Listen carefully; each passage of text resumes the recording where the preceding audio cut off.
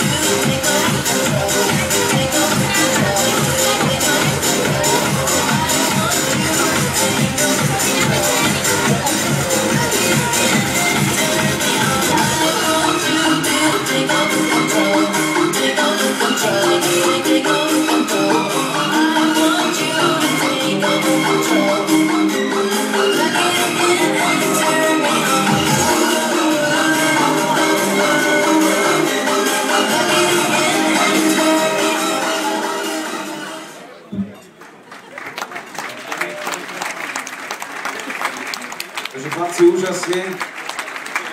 Úžasne. A je to o to lepšie, že ste bratia. Ja som vždy sníval tiež, že by som mal v kapele nejakých súrodencov, len všetci sa rozprchli inou dráhou, aj keď teda venujú sa hudbe. No a teraz príde Streetová